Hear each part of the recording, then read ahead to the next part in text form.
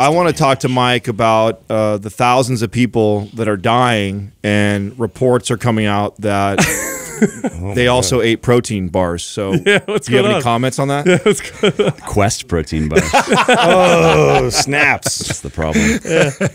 What do they sell for? A billion? A billion. A billion. And you said it was 20 times EBITDA. their profits. Yeah. That's an Apparently, insane. apparently, Cellucor is going to get like the same deal. Cellucor No. too? We passed on Cellucor.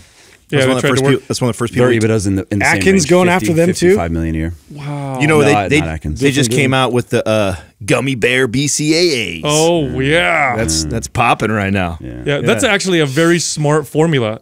Give something. What, some- what give kind of someone flavor is that though? What's that mean? I don't Gum, know. gummy. That's like a texture, isn't it? No, no, no. They're, No, actual gummy bears. They're actually gummy bears. Oh, they're actually well. yeah, the okay. gummy bears. Sounds like- gummy bear flavor. Yeah. no, th- You know some- what? There was This Mm, guy's it tastes the- like gummy bear. The cornbread. gummy over- gummy can. I just saw gummy candy flavored pre workout or something. Like, it's not a Really? flavor, you fucking idiot. Wait, you want to make cornbread b- protein yeah, that's a flavor. yeah, maybe. Of course it is. It's a little more specific. I guess you're right. Yeah. Yeah. cornbread is a flavor. Yeah, Now, right. now we did cereal milk protein, but that was, and people were like, "What, what kind of cereal?" Huh, that's actually a good point. We and didn't it, think but it, it does well. like, is it cinnamon cereal? Yeah, it does. it does What- very what well. it's, it's like cinnamon cereal though. What's been the worst uh, product idea so far? that you've had. Yeah. Uh, like a meal replacement weight gainer. Really? Yeah, Just like a high calorie protein shake? yeah, basically. What What do you think? What, why do you think it was bad? Was it the name? Was it just, Just a small No, niche. Yeah, I guess it's just not much demand for it, not as much as we thought, even though you'd think there is if you were just to poke around on the internet. Like some of these products do sell well. Um, but you know, we had a similar experience with our vegan proteins. So before we launched that, we were asking people. Um, we were always surveying what do you, what would you like to see next in terms of products, flavors, and there was a lot of hype around doing uh, a vegan protein. So much so that you know we were like, shit, we better order more than we normally would with a new product um, and release it, and it did okay. And that's why you And sent there's us no a- good reason. Is that for why you sent us a bunch of free vegan protein? Uh, that was yeah. That was the that was the old gross stuff that we replaced. no, but uh, Appreciate it. and then and then it, it, it continued to do well. It, it sells. It, it sold well enough to justify its existence. But that was uh, it was just interesting to see Kind of a like how yeah how. Well, con- like, compared to how excited people Right. seem to be, which that comes back to again, just because people say they're excited for a product, or even if you try to survey, like, would you buy this? Even not, mm. even if it's not that blunt, but if you're trying to survey for that purpose, it doesn't necessarily translate. When it comes time for people to actually buy, it, What's your- is Is those two can- best factors for that still like the texture and taste? Like that's the for the protein? Yeah, Yeah, yeah, I'd say it's it's. I mean, flavor is always number one. With Yeah. anything you're drinking, is is flavor is going to be number one, and then as far as protein goes, um, texture, mixability matters, and then and then and then of course the macros as well. Like that's high up. People pay attention to that. What about products that you were surprised, like you launched and you're like, oh shit, I did not think that was going to do that well. Um, fish oil.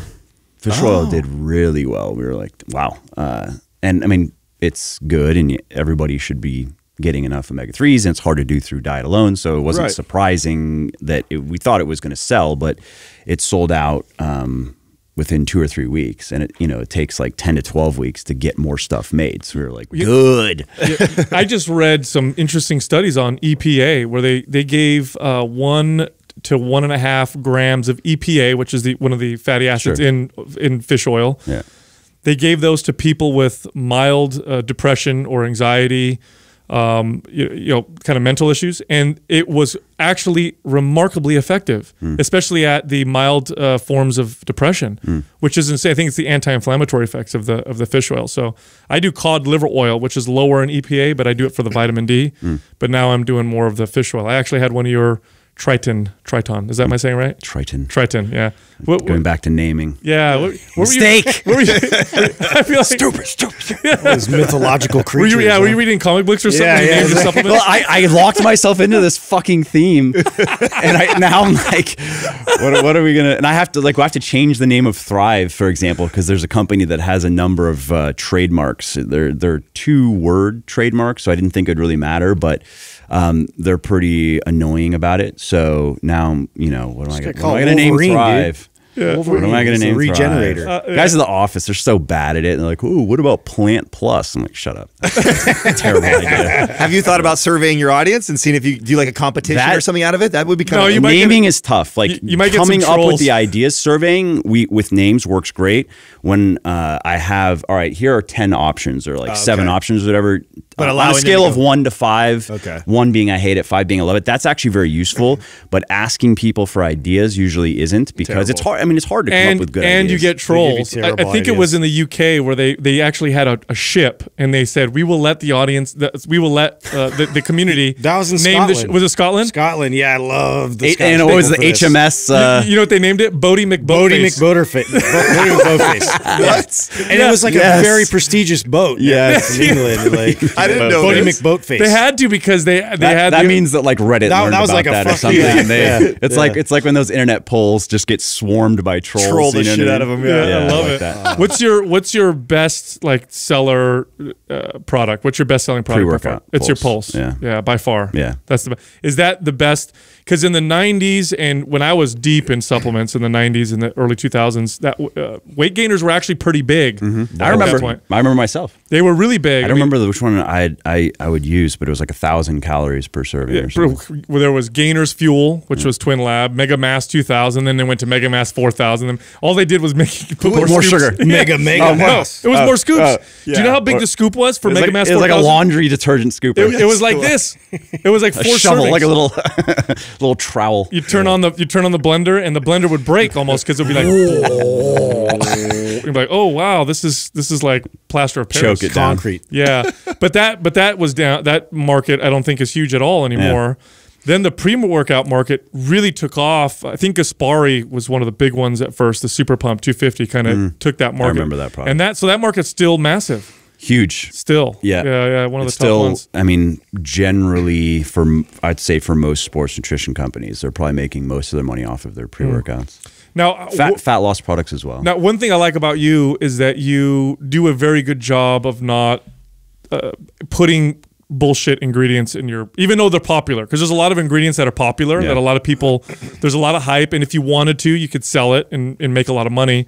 But you tend to never, you never put stuff like that in your products. Yeah. What are some bullshit pre-workout ingredients that are just common that people probably are wasting their time taking? Niacin.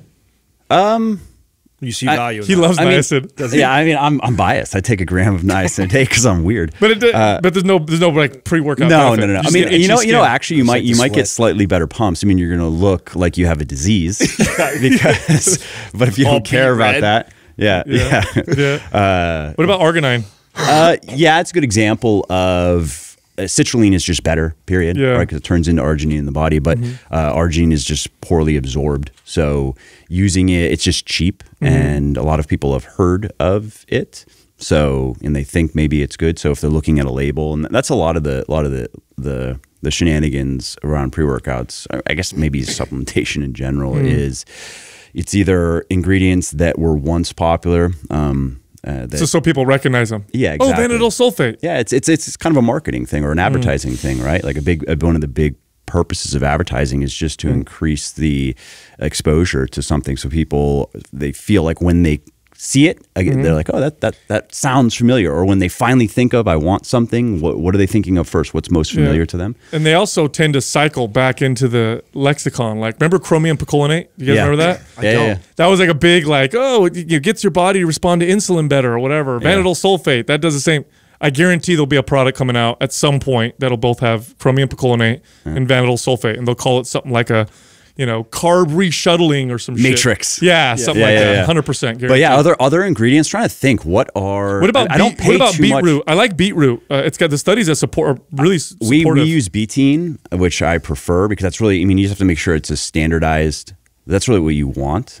okay. You know what I mean from Yeah. from the beetroot. So you can use beetroot root powder, but you're going to have to then um, you, you the the the serving size is going to get larger. Mm-hmm. Whereas there, you know, I'd rather just get the exact like what what's the molecule we're really after. Right. Um, Norvaline is kind of popular, but I don't really see a good use for it. Yeah. What about all the uh, the carb blocker supplements that are out right now? bullshit? Yeah, total bullshit. bullshit. Right, right. it- what, could you- what is it in there that they're Carb and fat blockers. Yeah, yeah. yeah, yeah. I, I wrote Yeah, some of them are like recorded a there's- podcast on those in particular because I get asked about those Yeah. and why I don't sell them, and yeah, because they don't work. No, they're a complete waste. I mean, there, there are there are products you can take that some studies will show maybe it increases insulin sensitivity a little bit, but is that going to make you lose fat? No. And what are the effects? How strong Yeah. are they? Not strong. Yeah, If and then, and then also, how is it going to affect nutrient absorption? It just doesn't make just doesn't make sense. No, and then they have binders. So these are supplements that you'll take Yeah. that will bind to food, and then you'll pass it, and therefore they'll be like, you get no calories because it makes you poop it out, and it doesn't work either. That's not Yeah. that's not kind of how it works. So Yeah. that's yeah. What about the the the heavy heavy stimulants that allow, one your pre workout is just caffeine. Yeah, I I've seen pre workouts that have like every everything's a stimulant. stimulant that you can possibly find. Yeah, what's the what's I just came across one recently. I forget the name of the company, but it was probably something like Rage or something like that. I mean, the formulation was so over the top. It was it was it was as if someone who doesn't really know what they're doing just cruised examine and picked every possible thing that anyone that, that could you, you could ever possibly want before a workout and just put them all in there. And and yeah, it was a ton of stimulants. It was it was let's see, there was caffeine, there was teacrine, there was yohimbine, there was synephrine. Um, I'm forgetting one or two others. It was Coca leaves. yeah, I don't. But uh, I, that's not for me. I don't like the super high stim. I, there probably is a, a small market for the super tolerant. yeah, just very high stim. Mm-hmm. But I would argue that it's a it's a, a growing market because you got to think that a, a lot of these people are because we didn't I mean, they weren't this crazy when we were younger and Well, we had speed stack. Well, that, that was some shit. Yeah But it wasn't popular. and I also had to I worked my way up to having fucking four of those a day right you so worked hard. Yeah, yeah. so I would think there's a lot what's of the what's the I got speed hooked on stack? those too. You don't Oh, it remember was, it was a Speed Stack? Fedric used to have a caffeine Fedra in it, yeah. aspirin, but it was in a bottle. It was American Bodybuilding, and Yeah. it's sold in gyms. Okay. and you you could literally, I mean, it was 25 milligrams of ephedra alkaloids, two 250 milligrams of caffeine, Okay. or 300, 300 milligrams of caffeine, No, 25 two- it was milligrams. 250. Was it 250? yeah, Yeah, Ripped Fuel was the lighter one. No, then there was Extreme. Yeah, Extreme uh, had the 300. That's right. So 250, 25 of, of ephedra alkaloids, and then white willow bark was in there, which is you know the, like I used to drive down to LA we had a connection at And this you guy and you- you're ibuprofen. doing four a day Four series yeah a day. I mean I worked up to that so that's my point my point is that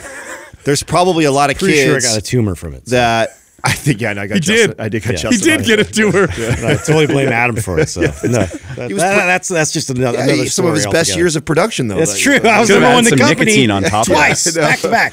So I, I my theory though is that there's a, a lot of kids that are, you know, 17, 18, 19 getting into the gym and that's now it's just like, hey, pre-workout. Everybody takes Yeah. a pre-workout.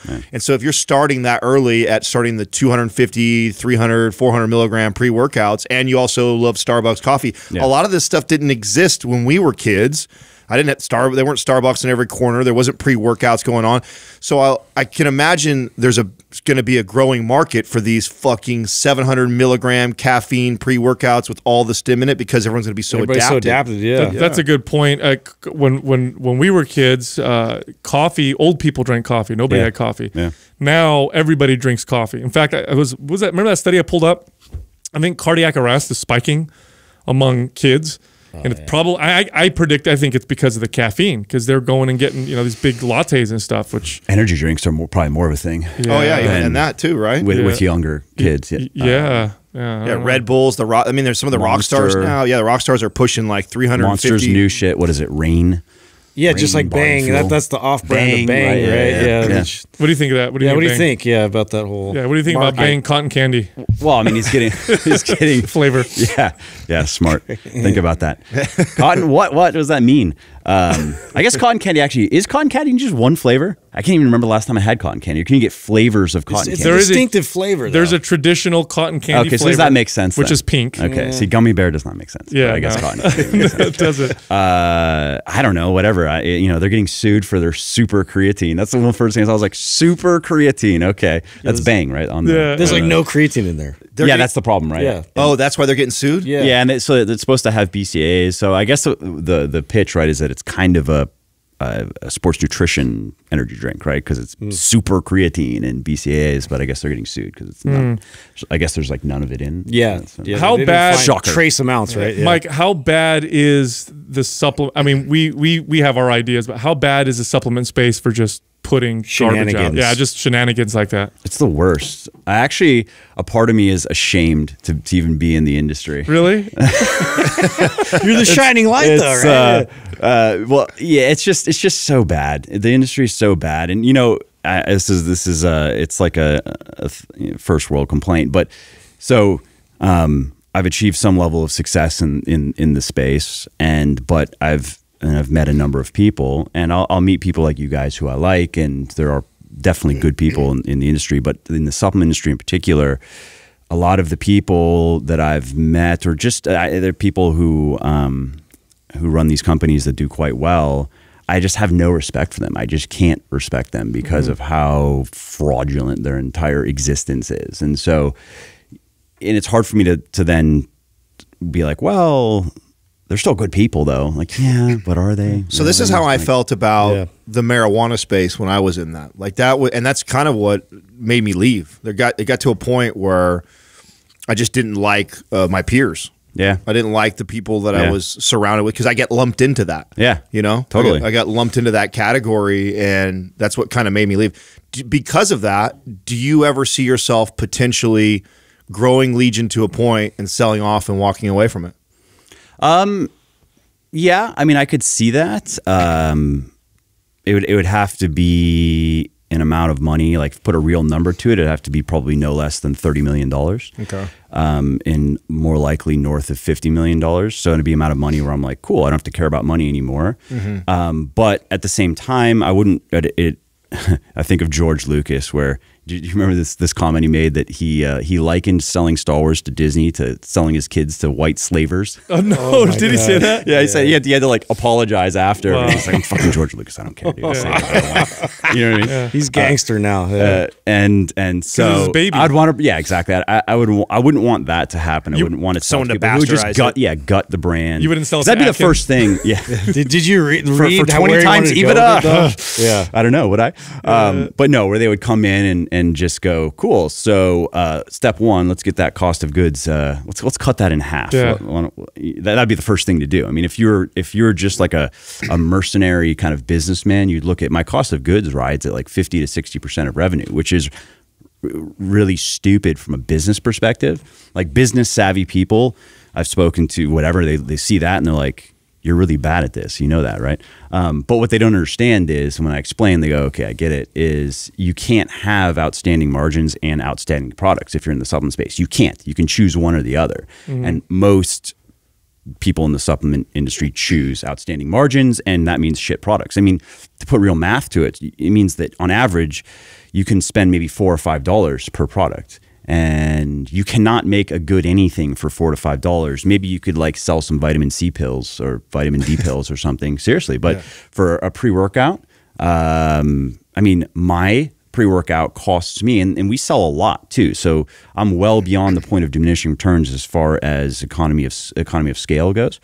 Um, and it costs me about fifteen dollars per bottle landed, like ready to sell. Mm. My protein costs me close to twenty dollars a bottle. My greens supplement costs me close to twenty dollars a bottle. It's expensive if you want to make good stuff. So you could imagine if I were to take Pulse and, and if you look at it from a business perspective, Yeah. What are some of the easiest ways that that people cut costs or make these or, or that Well, they you pick see they- the stuff that matters the most or is the most expensive. They pixie dust or Yep. they put them or in a- just don't even put it in there at all, right, right? right. Say they do. Yeah, and, and you know the and no one checks. Some people do, but you know you have a lot of people. You have when you look at any market, right? You have uh, varying levels of sophistication, and so you always every market has unsophisticated consumers. And that's not to say stupid. It's more along the lines of ignorant, where they just don't know. And we've all been there in any anything that we've gotten into at all. That Right. where you know in the beginning, yeah, I was a very unsophisticated supplement consumer myself, and so you can cater, or I would say pander to that level of the market, and that's where you have a, the most bullshit is is selling to those people, and that's also generally the largest segment of of any market too. So that's where you you can just blatantly lie to people and have awful formulations that if anybody knew anything and just looked at the the label, they'd be like, "This product is garbage." Um, but in the in the beginning, as many people get into, in this case, fitness, uh, they don't, they haven't taken the time to really educate themselves yet. So and what it comes down to is then so let's say you have somebody who's new and to fitness they never they they have 30 pounds to lose so let's say that's the number in their mind and uh, they want to take a fat burner because they're like i don't know people take fat burners right these things don't they help you lose uh, fat faster and so you have me and this is going to is coming to a question that we're going we're, we're going to get to where i'm saying this product will help you burn maybe an extra 150 calories per day. Let me explain why that matters. It's not going to it's not this this will help move the needle, but you have to also know what you're doing with your diet and your exercise. And if you do everything right and you take this product, you can lose maybe an extra half a pound of fat per week. And I can sexify that up a little bit and make it a, a little bit better in terms of marketing persuasion. But there's that pitch versus uh, some dickhead who's like, this pill will help you lose 20 pounds in 30 days. Just take it every day. Yeah, don't you don't change your diet. Don't do anything Yeah, else. It's yeah. So, so I understand where people, oftentimes in the beginning, they're like, uh, "I'm, well, you know, what do I have to lose? It's thirty bucks. I'm just going to try the. it sounds too good to be true, but who knows? I don't know anything about this. and Well, here's one thing that we've noticed, um, just in, as as trainers, the the sophistication of the fitness audience um, seems to be getting better. Now it's nowhere near where it needs to go. I totally agree. But when I first started training people 20 years ago, um, I had uh, a majority of my time I had to convince women to lift weights. Mm-hmm. I had to be able to talk to them about why lifting weights was a good idea, why they're not going to wake up tomorrow looking you like bulky. yeah, all that stuff. Today the questions are more complex. They're better. Yep. People seem to know more. I see people squatting and deadlifting. Never pe- people never squatted and deadlift in the gyms I- ever. I rarely did in the beginning for the first seven years. right, right, right. I think I squatted on the Smith machine every once in a while. wow. I hadn't deadlifted once in like my first seven years. Wow, yeah, yeah, I was the right. same way too. Yeah, and I, I mean that was common, right? Well, yeah. Back then it was you would. I mean, deadlift when you when you buy a bodybuilding magazine, none of them told. no, uh, and you would you would lump that into powerlifting. Yeah. and I didn't Yeah. want to be a powerlifter. Yeah, yeah, yeah, I yeah. identified more with somebody who was a bodybuilder in a muscle fitness magazine, and so and you just no- did what they did. Yeah. So uh, the sophistication for us, in our experience, seems to be going up. Are you seeing that as well with the supplement consumer? Are they becoming more sophisticated? I would say yes. I mean, I my brand kind of pre-selects for more sophisticated people. In That's that true. Mo- Little bit of a many people, yeah, absolutely. Many people find Legion and just find me via articles, podcasts, Right. books. So these are people who are actively educating themselves, and so um, if looking at it like the demographics skew, I have uh, more probably 30 year olds 30s year olds than than teenagers. I have um, a lot of college educated people who who follow me. And uh, but in general I do think probably thanks to I think social media has probably contributed to the prolif- prolif- proliferation of good information, bad information as well, but good information. So it is easier where people can just fire up Instagram, and if they're Right. following good people, they actually can start learning useful things very easily and quickly. And um, you know, I'd also like to think that what I've done, I've sold a lot of books. I've in between. I, I had now now it's just one website, but between my two websites, it's probably over 40 million visits to those websites, all, all told since the beginning. And um, so there are other people like me, like you guys out there, you know, spreading good information. So I think in general, yeah, it uh, the the you, there are more and more informed people now than It seems like it definitely. yeah, just because it's easier to access good when, information. When we first found you, um, this was a long time ago. Um, Doug and I had we had put together Maps Anabolic, and we found you because we were impressed with your your content and your email marketing. And we Mm. said, "Oh, look at this guy." And I looked at your information. I'm like, oh, "Okay, this guy knows what he's talking about," which is rare. Mm. It's very rare. I was fully ready to read and be like, "This guy's an idiot." Yeah, yeah. But you actually had decent information. But you were never a trainer. How did you get it? How did you learn all this? Did you just dive in deep and try and look at the evidence? Like, what brought you to learning about, you know, how to exercise properly? What are the most important exercises? Like all this, all the solid basics that you you communicate so well. Uh, I mean, it was just a, a self education project, really. I mean, I started lifting as a teenager, and because um, I grew up playing hockey, and then I, when I stopped playing hockey, I wanted to do something to to remain active. And I was also 17, and I was like, "Eh, girls like muscles. I'll just get some muscles, I Yeah. guess." Because hockey, you didn't. That's not a. You, I wasn't lifting in hockey. You just play a lot of hockey. Even though you were a virgin until you were married. Uh, I wish that that, Oh, that make me even weirder. Uh, okay, I, I totally guessed right there. That's a good guess though. Yeah, Uh, I've only had sex with one person, Oh, okay. so but I wasn't. Okay, so there you go. I didn't- we I didn't wait meant. until marriage. So yeah, yeah. it's still it's still it's still strange. but- Yeah, It could be. Technicalities. yeah yeah um no so so got into got into lifting for that reason and and just did what most guys mo- most people did at that you know just buy some magazines and gather a couple friends and just start messing around and did that for a while and, and came to then just like it as an activity and as a you know just something that became a, a normal just thing that i did and eventually though i was like okay i'm if i'm going to put the amount of time that I'm putting into it, I might as well actually educate myself. And I know I could be getting more out of this time and out of this effort. And then that's when I um, was decided to actually apply myself, I guess, to it. Where did you get your information? And In what, the- what year was this? what year is this? So this was probably seven or eight years ago. Okay. And uh, on the training side of things, well, let's see. So on the diet side of things, the first just bit of random luck, it was good information that, that pointed me in the right direction, was I met this bodybuilder powerlifting guy who uh, at the time I, I wasn't savvy about steroid use and how to spot it and he, he claimed his nat- he's natural now. I mean look back that's a joke but but uh, you know he was he was the first guy to turn me on to energy balance and macronutrient balance and so he was he was prepping for a bodybuilding show at the time super shredded at this point. He's probably a couple weeks out right? Looked ridiculous. And and I was just like how you know and he was like oh how much do you weigh what do you want to do okay eat uh, whatever it was 2300 calories a day eat this much protein this many carbs, this much fat, and um, that's it. That's all you need to do if you want to get lean. Because at that time, I was maybe 15% body fat or something, and I'd never really been lower. Never really cared about my body fat, but I was at that point. I was looking at him. I was like, "What are you doing?" you know what I mean? And and so of course, initially, I was like, "What do you mean? What carbs, for example, do? What about sugar? What about uh, complex carbs versus simple carbs? What about when I'm eating carbs? Should I not be eating carbs? Just all the stupid, all the stupid things I had heard over the years. He's like, I don't care about any of that. I don't care. Like, just, just, just follow those numbers. And I was like, okay, and did it. And then that's when I got pretty lean for the first time. And um, so I thought that was like that was you know a revelation. Anybody Everyone- you remember that first? We were like, Everyone needs to know this. it's actually this simple. And so that then turned me on to uh, uh, wanting to learn a bit more of why did this work, right? So then learning about energy balance, which for that it was it was just a matter of going to the scientific literature. You don't there's you, at this point now. There are really just great research reviews. You don't even have to go too deep uh, into the rabbit hole because people have already done the work for you, basically, between meta analyses and research reviews that are out there and, and particularly now, like Eric Helms, um, and I, I don't think he did it alone. I think there were Alan Aragon might have been it. There were a few people.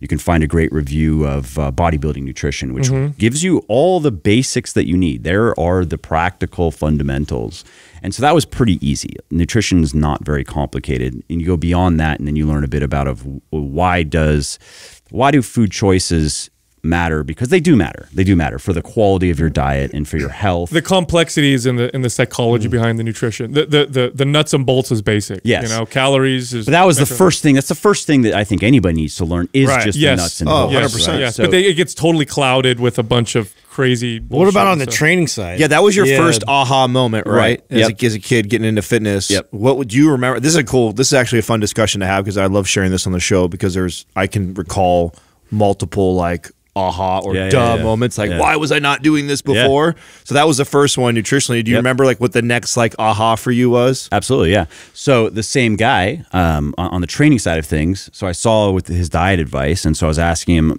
"What what would you recommend that I do in the gym?" And so he turned me on to something called Max OT, and I don't know if you ever came across. Wow, that sounds familiar. Why do I? It's why do I know old that? school. I forget the the name of uh, the guy who it was. It was like a PDF booklet. Okay. thing, basically, like a PDF ebook that I printed out, and um, the what I what what worked about it is it emphasized heavier weightlifting, whereas in the past, you know, I would do a lot of a lot of work in the range of maybe fifty to sixty percent of one rep max, and more more emphasizing The pump. yeah, the pump and just doing a bunch of reps and no real systematic way of progressing. Um, and and no no very heavy weightlifting, like nothing in, the range of 80 to 90, or let's say 85 to maybe 95% of one rep max. And so Max OT was just emphasizing about 80 to 85% of one rep max. Compound exercises, that was the 1st mm-hmm. where just explaining the importance of increasing whole body strength and using squat, deadlift, using pressing to do that. It's sure you can do accessories, you can do isolation work, but if that's all you're doing, you're just not going to get very Yeah, you're missing far. out. Yeah. Do you remember like uh, when you started doing it, like Yeah. the response that your body? Absolutely. I was I was I was amazed. I mean, I actually got strong for the first time, really. And I, I mean, I, I have pictures I've shown many times um, on on my website mostly, but I, I've posted on Instagram as well. That just kind of showed the before and after of okay, here's me after seven years. I had gained maybe thirty pounds of muscle in seven years. And that's maybe being generous. It might have been closer to 25. It's kind of hard to tell exactly because of body fat levels and so forth.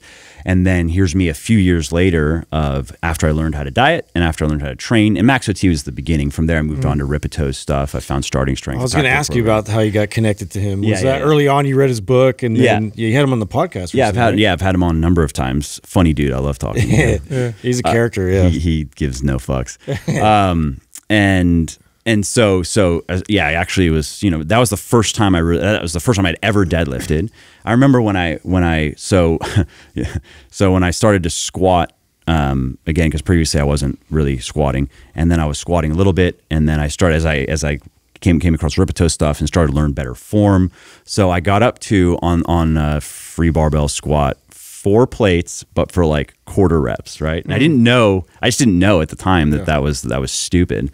And um, and so then I'm learning a proper squat, and I'm like, oh yeah, I guess that, that makes sense. More range of motion makes it harder. Did you not go lighter? Uh, no. So, so, so, so I'm like, man, whatever. We'll see what happens, right?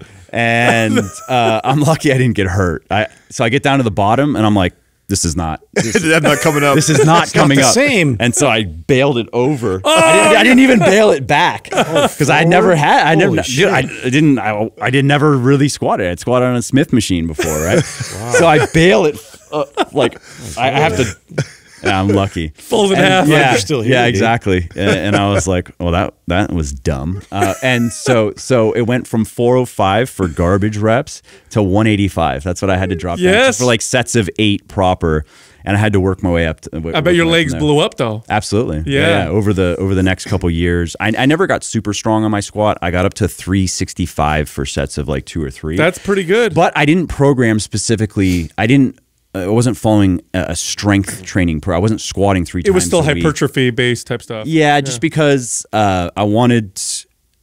I actually don't. I mean, I understand as far as like bodybuilding proportions go. The legs. If I were if I were to want to get into bodybuilding, my legs would have to get bigger, just Mm-hmm. just proportionally. But I personally don't quite like the look, uh, like aesthetically. Not to mention, it's a pain in the ass when your legs are chafing all the time. Exactly. You can't and fit in normal jeans, already. Yeah. you know, if they're if once uh they have to be like broken in and until they it was, when I put them on they look like leggings. You know what I mean? Sometimes some jeans I actually like, I can't. No, I'm not doing that. Yeah. Uh, and so so anyways, that was a big. So the importance of compound exercises, the important of the importance of lifting heavy weights, and then the importance of as I continue to educate myself, progressive overload and, and, and how important that is, and then how to achieve that. Right. So um, the the best way, of course, is getting stronger. You got to make sure you're adding weight to the bar over time, and then secondary to that is making sure that you are increasing your volume. yeah. Yeah. So you can really appreciate the journey that people go on to try to figure out the right things to do because you had to do that and it took and you're a smart dude. It still took you a while. Apparently. Yeah. Well, I mean, it took all of us. I, mean, Yeah. I, I went down the almost the almost the same order, And we you just- worked in fitness. You Yeah. listed right now. Yeah. I remember. I'll never forget like putting together the deadlifting. So I always had weak ass hamstrings. Uh, and probably because there's just not a lot of hamstring movements, especially if you're not deadlifting. You know what I'm saying? Yeah, even if like- you're squatting, squatting is more quads right, than hamstring. right. So, and I remember getting into deadlifting, and I remember like for I'm like ten years in, and I I've done the lying leg curl machine probably a thousand fucking times by this time. yeah. So I kind of know like where my range is, and I don't think I could get over like seventy to ninety pounds or something on that machine. And then I remember being introduced to deadlifts and then being consistent for like a year, just Mm-hmm. deadlifting on, on every a weekly basis. And I had just totally stopped doing all the machine work and I was heavy into barbell lifting at that time. And then I came back one day, and it was after about probably a year, and I did the lying leg curls, and I hadn't done them in a year. So in my head, I'm going, "Oh, I haven't done this in a long time. I'm Yeah, probably yeah. gonna have to start really light." Holy shit! Like my weight had doubled, Wow. and never was. I wasn't even touching that machine just from the debt, and that was like a. I'm like, I spent fucking ten years trying to increase the weight on this thing, Yeah. and just by deadlifting, I doubled my weight. That was like a, Yeah. aha moment. No, for me. Did you have a similar jump in your back and just your pulling strength? In Oh, general? dude, Yeah. my so uh, same thing with seated row. Yeah. So I was, you know, that was when I first started lifting. Seated row was the sta- staple first Yep. exercise I Lat did. pull down, seated row. Yes, yep. Go over the seated row, Yeah. strap up, you know, and try and get to where I could get almost the full stack. Yeah, yeah, you know, yeah. and I worked ten years of lifting to get to that point where I could almost do the full stack. Yeah. and that was a big fucking deal. Man, after I deadlift, that shit moved so easy. Yeah. It blew my fucking. Same. I had the same experience. Yeah, Yeah. I got that from. I, I learned that uh, it was. This, I think it was the summer after my freshman year in high school, and and there were there were power lifters that were working out, and I was just in awe of these guys. And at this point, I'd still I'd been lifting weights for a little while. I started at, as a 14 year old kid. And um, anyway, they taught me how to squat and deadlift, Mm. and they told me this is what's going to make you big. And because they were, you know, when you're a kid, if a big guy tells you this Yeah. is what's going to work, you're like, he could have told me the horse shit, and I would have done it, right? So I'm like, done. I'm going to start. didn't you? No. Oh, okay. So I'm like, all right, I'm gonna, I'm gonna, I'm gonna start squatting and deadlifting. eater. And um, I gained something like 12 pounds that summer. So that summer from freshman to junior, and I remember I went to school and everybody was like, "What the fuck happened to you, dude? Like your legs are, you're, you have a butt now." And it was all because I did those two exercises. Yeah. Before that, I would do leg press and hack squat and Yep. all the other leg extensions and just nothing. So that's cool. Any other groundbreaking moments for you, as or was, or was that where you're? Uh, I would say so. We've we've talked about uh, nutrition, training.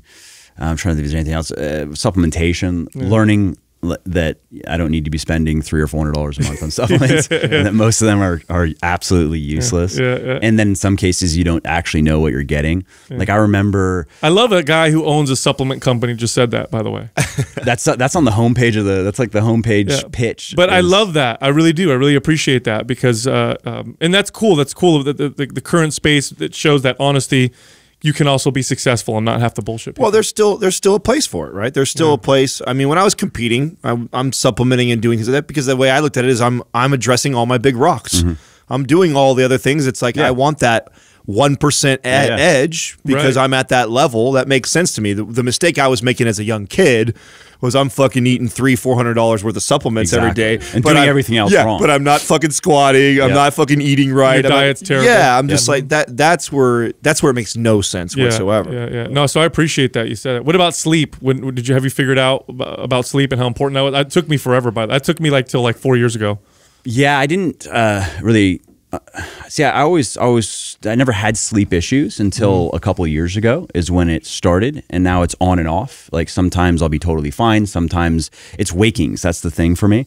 Uh, I, I don't have any trouble falling asleep, but I'll wake up. Uh, several times. That's like a bad night for me, basically, and it's not terrible because uh, I I still get a decent amount of I get enough deep sleep to like I can function and whatever. But I'll notice a bit of a difference if I if I wake up once versus four times. It does make a difference, and so I didn't really appreciate that until it started because Not until you lose it, you know. Exactly. Yeah. Man, I used to, I, so previously, uh, I don't know, maybe let's say five years ago or whatever, I used to uh, work until right up until I'd go to bed, right? So I'd be like on the computer. I had flux, and so I wasn't getting blasted with blue light, but still, I'd be on the computer, meant working, doing usually writing, so something that requires it's not it's not just like mindless answering emails, and so I'd be I'd be doing that until like eleven thirty, and then get ready for bed, go to bed at 11:45, fall asleep in like five minutes, blackout unconscious for for you know six and a half hours, wake up naturally, and that was it every day for five or six years, and I was training hard. Um, I was in, there was there were a few where I was like cutting to get ready for photo shoots, and so I had to get really lean. Never impacted my sleep, and so that was just life. I didn't. And then once I started to once there was no longer the case, I guess it kind of also started after kids uh, now I I, I miss it. I, I miss my, my previous superpower. But but now all that really matters for me now. Uh, what that means for me is I've just prioritized sleep more because like yeah I was able to do that previously. I was able to go to bed at eleven forty five and have an alarm at six thirty that I'd usually wake up before just naturally, and I can't do that now. All right, fine. So I just make sure I'm in bed for eight hours. So I go to bed at ten and my alarm's at 6 And sometimes I wake up a little bit earlier um, because if I if I sleep better, I might wake up at five thirty and that's it. Okay, fine. Uh, but I don't sleep through the night ever. Now I wake up at least once. Yeah. and um, so you know I've just I'm I- similar. I do understand the physiological, and, and now I, I have educated myself a bit about sleep because I was trying all the obvious. See, I wasn't making any fundamental mistakes, so I was like, okay, what kind of random supplements can I try? What kind of random I name a random sleep uh, technique, and I've tried it. And um, so, I, in, in the course of educating myself, also came to appreciate, yeah, just how important sleep is. And I've and since having sleep issues on and off, I've mentioned that more as a fundamental of just looking at the bigger picture. You have your nutrition, you have your training, you have your sleep hygiene. Like pay attention I would have I would have never thought I would have caught myself wearing dorky ass blue blocker glasses. Yeah, yeah. I never would have thought I would. I mean, I used to make fun of that shit forever, and but I also think too we we saw something happen, or at least in our generation. Like we were here before fucking iPhones and iPads and all those things existed, and I have really bad behaviors of you know sun goes down and I'm still. Hmm. Staring at this little tiny screen, answering emails and mm-hmm. on social and stuff like that. And it took me a while to make that connection that I probably was stimulating myself so much that I was having a hard time getting really hmm. deep sleep. Yep. And just that that one behavior alone of okay, I can still I'm still going to do all those things, but at least now I'm going to discipline myself to throw these fuckers on. And if I go about my work, and I notice a And big is that better? Because you can, you can. I mean, I, I have an Android phone. If what do they call it? It is night better. shift or It something. is. So I have Okay. both. Like I do, I night shift on it still, and that, that's better than nothing, right? Yeah, and if Um, you want to go hardcore, then you want to get glasses that also that ones, also yeah. block green light because green light will also affect uh, not nearly as strongly as blue light. All light actually will Mm. Yeah, affect yeah. your. yeah. So, Ideally, you would you would just well, so here's the game for me. This are the two things. If I do these Candle. two things, Candlelight once the no sun joke, goes down. no joke. If I get sunlight during the day, because that sets your circadian rhythm. So get sunlight. I do that So- too. Yeah, because you tend to lock yourself in your basement and work all day long. Yeah. So if you go outside, cave get sun. the, the word mines. yeah, exactly. if you go outside, get sunlight, and then uh, when the sun goes down, and I've done this a couple times, turn off all the lights. We'll go by candlelight, or we'll use these rock lamps that kind of make this light glow like a fire or whatever.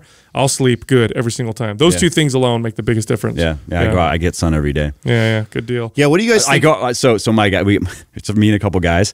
So we go downstairs into the parking lot next to our office and just take our shirts off and just stand in the sun and, and hang out. Do you really? Yeah. Now people a couple of weirdos. and they're absolutely Totally So there are, there are office buildings all around it too. Oh, there's those guys again. Absolutely. I've even had people come down like, so are you guys like a workout group or something? And I'm just like, no, we just we just go in the sun. They're like, It's like a couple of couple of plants No, that turned into humans. I've been trying to I've been trying to get these get guys photo- to gotta get my photosynthesis in, you know? put a park bench right out here so we could start having our meetings outside because this Yeah. thing is a fucking yeah, when we're stuck in idea. here I mean, day. just going outside. I feel good it too. idea. I can feel the difference now. I did Yeah. not uh, when I was younger. Never. I don't know if I just wasn't paying attention to it or whatever. But you know, we'll, if we'll sit in here for a couple hours sometimes, and I it, it'll be like eleven or noon. I'm getting groggy, Mm. and I, I can feel it. As soon as we go outside, sunny, and like ten minutes being the sun, I just feel like my energy levels come up right away. Mm-hmm. Totally. Well, we have a, a live audience with us today who asked us some questions. These are the the the VIP. Where's our applause uh, sign? Yeah, yeah, exactly. So- just add the soundtrack. We're, we're doing that. We had a dinner with them last night, and then tonight we're doing our, our, our live event uh, where we're answering questions. And Mike is going to be uh, one of our awesome guests, so this is going to be kind of cool. But they asked us some Stage questions. Yeah, I I want to start in the area of the, the upcoming opportunities in the health. And, you want to start with the first one? Yeah, I just think that that's a fun discussion. We on the podcast, uh, Mike, we we speculate all the time of like you know trends or what we think is going to happen, and so regardless if you agree with the trend or you would potentially do it, I think it's fun conversation to talk about what we think might be cool opportunities financially in the space. Yeah. So the question is uh, upcoming opportunities in health and fitness space. So, Mike, you have, do you have any ideas of what you think are like upcoming, kind of emerging opportunities? this is this is this is bad, but I, I actually don't.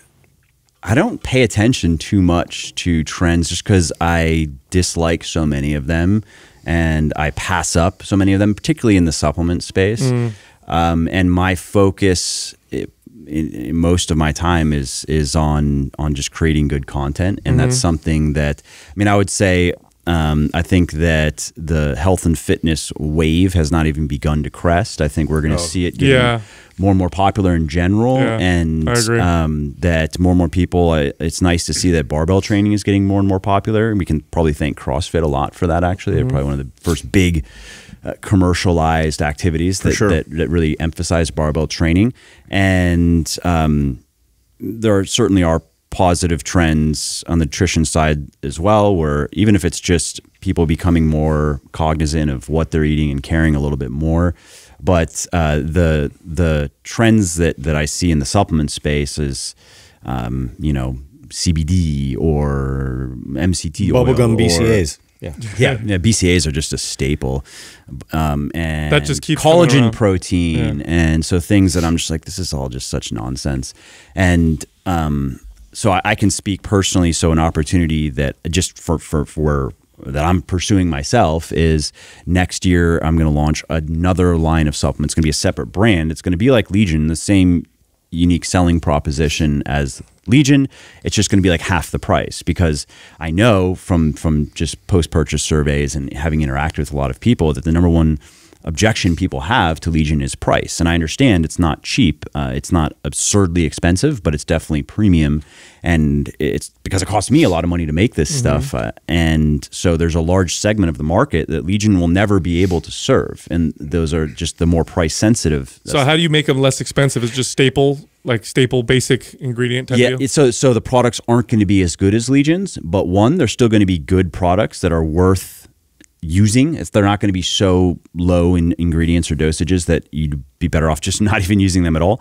And they're going to be much better than any other products at that price point. So we'll have a pre workout, for example, that will be twenty or twenty five dollars. Is it going to be as good as Pulse? No, but it's still going to be good. It's going to have clinically effective doses. They're just going to be the lower end of the range, whereas Pulse is the higher or highest end of, of the range. And that's generally how we've approached Legion formulations is if we're going to include ingredient an mm-hmm. ingredient we often are going for the mid to high range of mm-hmm. the clinically effective dose except in some cases where we actually feel like it doesn't quite make sense because you're not going to like there are some ingredients that are expensive that you're not going to get much more out of whether you go from the low to the upper end of the clinically effective dose but you are just going to make your mm. product more expensive.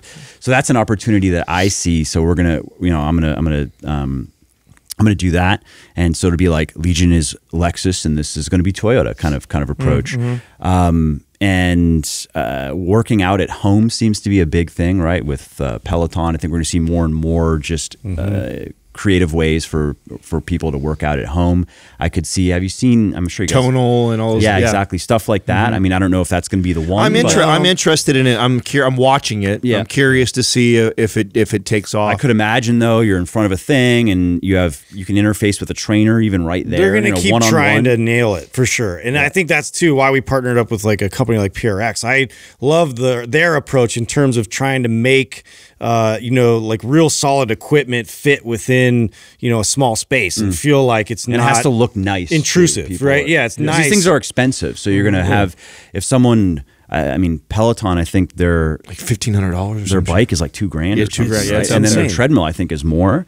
So you could imagine. Let's say there's something. Uh, might might be tonal. Is this the, that's where it's like Yes. resistance, Yes. right? Yeah. So um, do you know how expensive it is? Yeah, it's up there too. Yeah, they're up there with like 1500 but, I- 2000 but it's kinda- more considered um, it's it's more like tech than it is fitness equipment so it's, i think Yeah. what they're trying to do is because people don't mind spending thousands of dollars on awesome new tech But Um, these they are going won't to be more toys. affluent people, probably, who are going to be putting it into nicer houses. It has to look nice. You know, what I? Sure. it's not just function. It's Well, I, I have two. I have two things that I'm like really intrigued by, and I think are smart for somebody who's getting in the space or looking at. And one of those is uh, obviously, and we've talked about the irony is it's uh, the group training or the small group. Yep. Uh, small square footage, three boot thousand camp style. Yes, like that. And I think there's room actually to do it better. Like right now, it's all the trendy shit, like the Soul Cycles, the Orange Theories.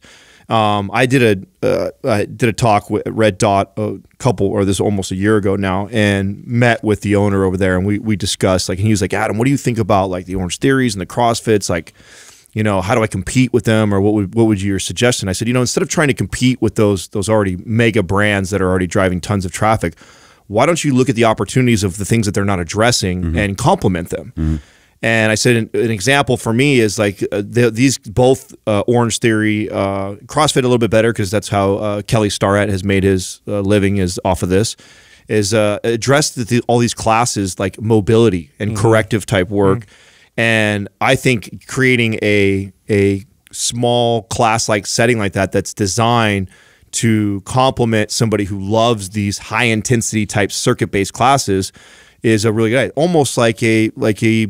Do you think that, that might be a hard sell though? Because what's the what's, Well, here's- what's well, the benefit? the- what's the what's the magic bullet of it? You know, There's people re- are going to go. a lot of recovery labs that are popping up too because of you know but that is quick fix. Though. Well, That's like, here's the thing- jump in this cryo thing. That's not really going to well, do here's anything. he- do here here's it's not going to be popular for somebody who's 25. Hmm. Yeah. You're looking at the baby boomers and the people that are dealing with joint pain, and they they've taken it. So one of the number one things I which saw is a big market. we use that a huge market. What uh, number one things I saw at Orange Theory when I was there is they they still attract the 45 plus year olds that come in there and do it, and they do it every day for you know a few months, and then what ends up happening? They burn Knee- themselves yeah, out. burn themselves out, knees ache, shoulder hurting, all this stuff because they're not addressing all these issues that they have.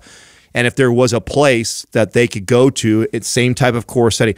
And what confirms this for me, so this weekend, so today or tomorrow, uh, FRC comes in here. So uh, they've got uh, 87 or 90 uh, students in this place.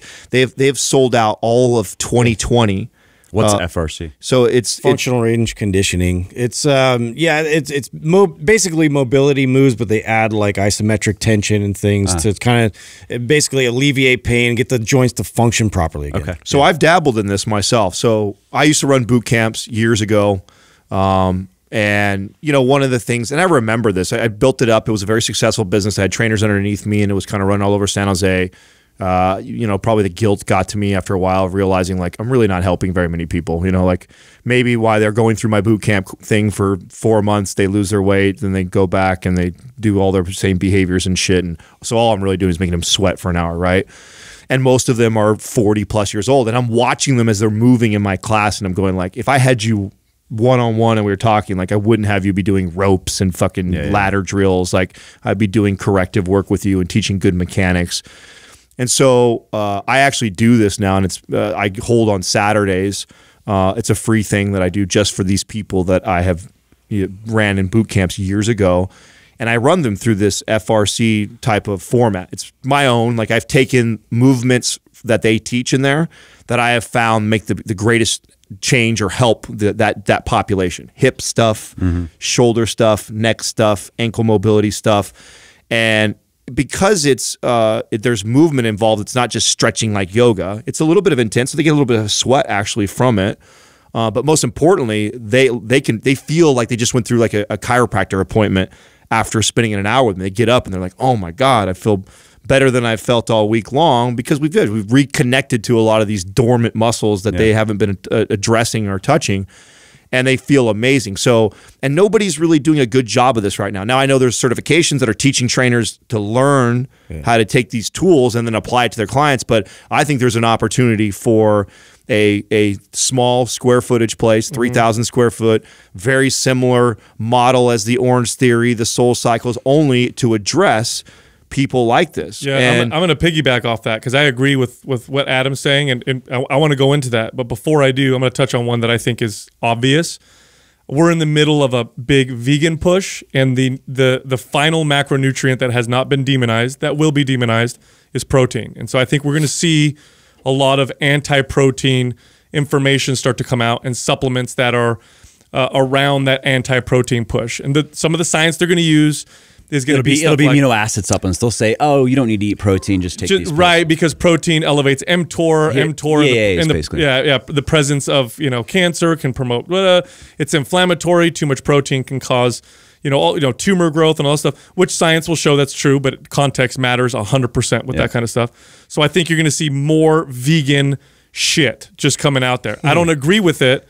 But it is an opportunity, and you can already see what's happening right Which now. is The- the light and flaky. Impossible Burger and Impossible Meats are selling out all the time, and it's Yeah. because they've made hyper palatable, delicious tasting, ultra processed food. Well, from what I've tried- read, I have I not tried. tried I refuse. But it's I just look at the ingredients list. I'm like, that's not food. so much worse than not meat. Yeah, Yeah, What is food. It's this? like Like a a Yeah. thousand Frank- things. it's Frankenstein. But that's an opportunity. Now, to piggyback off of what Adam was saying, I think the next big opportunity for fitness is going to revolve around making your body feel better through correctional type movements and mindfulness. I think mindfulness is going to start making a massive push. And what do you mean by that exactly? Uh, anything mindfulness. So it doesn't matter. It could be meditation, it could be spiritual stuff, it could be classes, but it's going to revolve all around that sphere of so more holistic. un, yeah, unplugging your phone, Yeah, yeah, turning yeah. things off, being quiet, focusing on the present. then you know. maybe doing some exercise related stuff. Yeah, that's- or I- with exercise. I, f- I That's feel I'm like. I feel Yeah. like what I'm saying you could combine that. That's yeah, what I'm saying. That's why I'm piggybacking It's on just, it. Yep. I think it would be incredible. and a reason why I think that's going to be so turning that all into like a proprietary kind of branded method. Yes. If somebody well, could do so that. I don't yes. know how people are going to do it because there's a right way to do this shit and there's a wrong way to do it. I'm just saying from a marketing perspective. right. If you can yes. call that. Well, 100% marketing. in a in a that's what you're perfect world, you would do some. I mean, we we have the, we, uh, we've laid the foundation for this. Like so, Maps Prime Pro, uh, the entire program is we've addressed every major joint in the body, and with that comes a little test assessment. Like, is your joint moving optimally? If it's not, here's some movements Yeah. to, help that.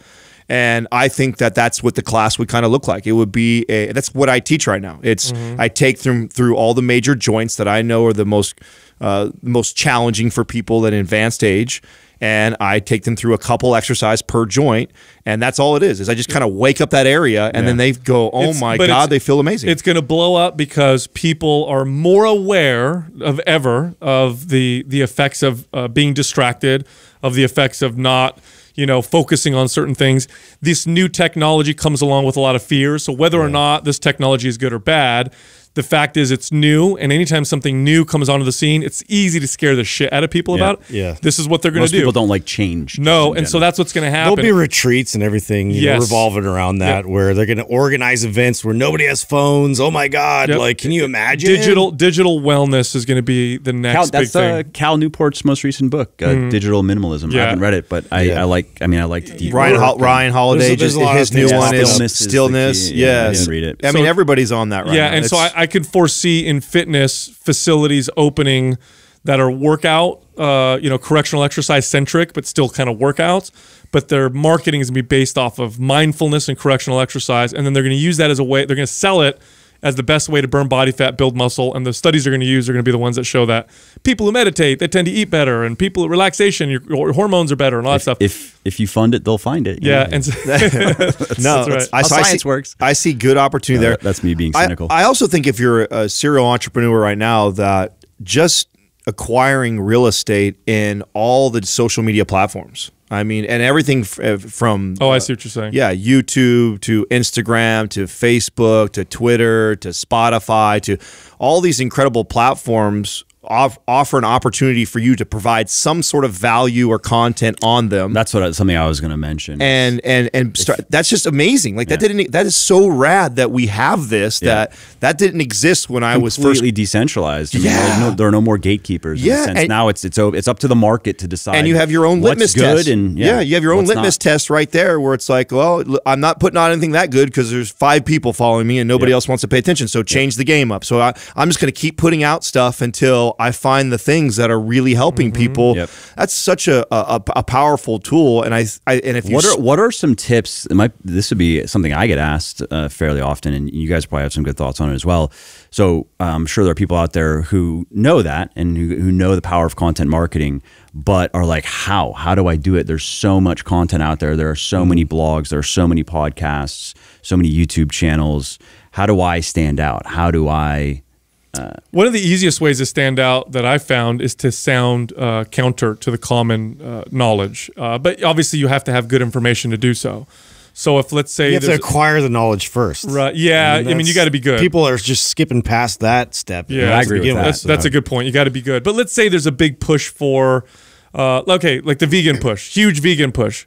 So you, you may actually get some traction by publishing an article that talks about the dangers of eating plants, or like that. or or uh, the positives of the carnivore diet. Yeah, Not- yeah, I mean, yeah. The carnivore diet is Eh, stupid. But yeah, eh, but, but but being accurate, obviously giving good information, but sounding counter, right? Like if there was this Contra- big, yeah, contrarian thinking always gets To- attention. Totally, and it gets shared works. like crazy because Yeah. people like that stuff. And I love doing it because ninety percent of the information that's out in fitness is bullshit anyway. So it's easy to be counter Yeah, yeah, to yeah. half the stuff that's out there. So it's like BCAAs. I, I think that I think Fuck that we BCAAs. the fact that we get the fact that we get real time feedback, likes and comments and shares, and you can see all these things. I actually think it's it's actually relatively easy. What's challenging is people to be we're, in this era now because it's so easy and so fast everybody expects results so quick Mm-hmm. this is what I, I tell kids this all the time that are starting a youtube channel up and they're like i'm only i only have 50 people following me I've been And- doing it for two months. yeah, or, or they're like six months in and they're only adding like two people a day. And I'm like, could you imagine if you opened a brick and mortar business and two new customers walked in every day?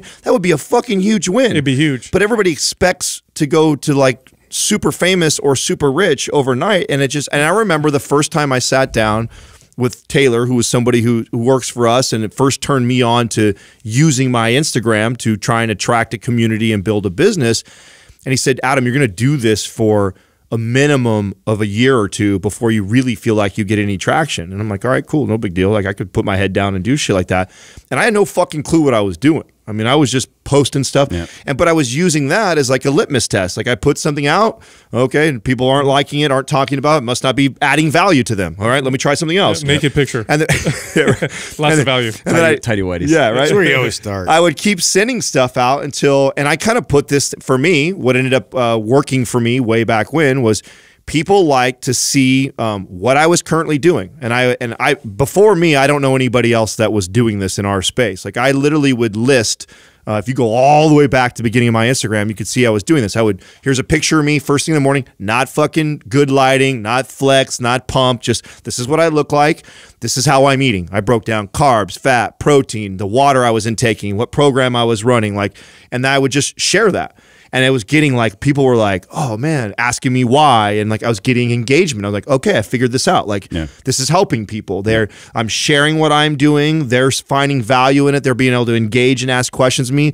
And that was kind of like the aha. Okay, more of this. And so I just started plugging away more, and then the traction started slowly happening. And that was really the the original following that we had to help catapult Mind Pump because.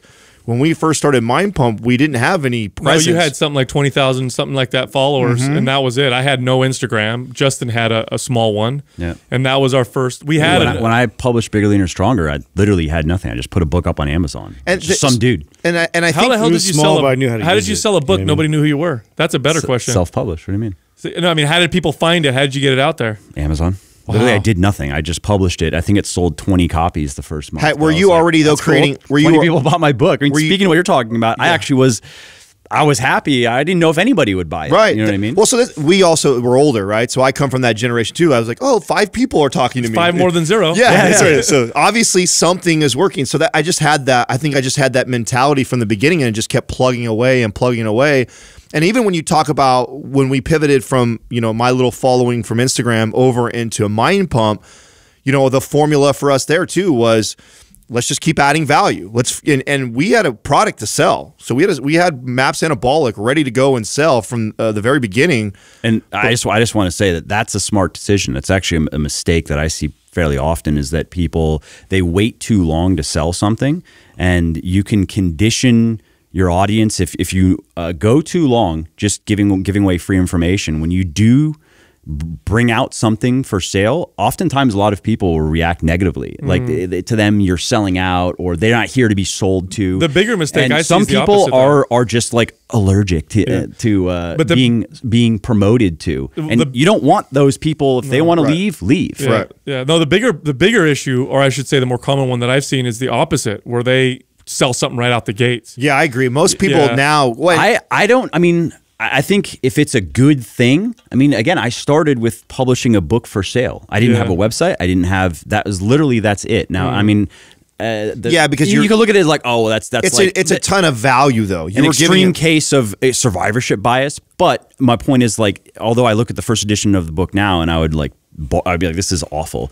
Um, uh, but because the current edition is way better, but it was very good for what it was at the time. There was nothing like it, and so Well, that's that was the, I immediate just I started with just selling something. Well, I That- think that's authority right out of the gates, though, and I think like from our perspective too, we had to build that authority. Sure. And by doing that, we had to go through like really building their trust and finding out what they wanted to learn. Yep. So we have to give that and go that. I direction. also think what Sal's talking about, and I agree with him that I see more of this, which is the the kid or person who's interested in this exact question we're talking about starts their YouTube, starts mm-hmm. their Instagram, gets their first thousand to five thousand people following them, and then right away takes on, you know, the supplements or takes Yep. on some, and they're pushing somebody else's product to make twenty percent mm-hmm. commission off of it.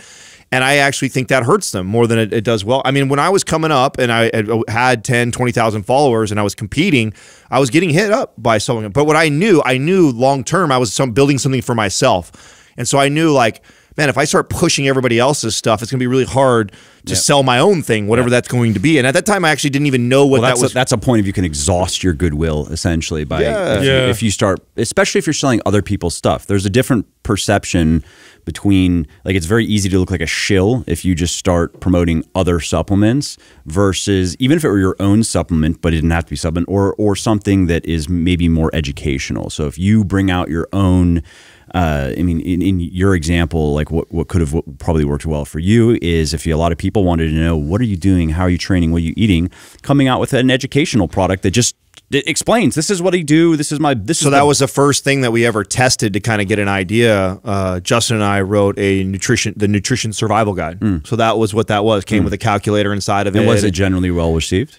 Uh, yeah. I mean, what what Yeah, I we just didn't have the audience yet. yeah, what I learned from that was ten thousand Instagram followers equates to about fucking two hundred dollars. Yeah, yeah, yeah. yeah. exactly. That's dude. what, that's what That's I learned. the value of from, Instagram. That's true. That's what I learned from that. I was like, oh, Too true. fuck. I was like, okay. Yeah. And that's why, too, because I thought maybe I was ready. I thought, okay, you know, I've been given value. I've been doing so much for so long. I've got 20,000 followers. Maybe it's now Justin and I dropped this book. Let's sell it. And I did. I kept, what did we sell? 25 of them or something? I mean, yeah, some small. Maybe, maybe that. And I was like, whoa, like I've, and that it was a good lesson for us. It was like, you know, we need to impact and add more value and gain a larger audience before I really try and monetize this thing. Otherwise, uh, you're going to be tr- constantly trying to push your shit to try and sell. And that's the other thing too is I really believe that all these platforms, YouTube, Instagram, they're they're really designed to be more social on them. And I see a lot of companies take their social media and it just it's just like another way of advertising. Yeah. And that's Doesn't all that's all they're doing. And I, I without even knowing their back end and their conversion rates, I can tell you it's not converting very well because most people that are on social media, 90% of people on social media are not on there to shop. They're on there to mm-hmm. connect socially with people and brands and things that they're into. So your social the social aspect should be a place for you to connect with your with the community.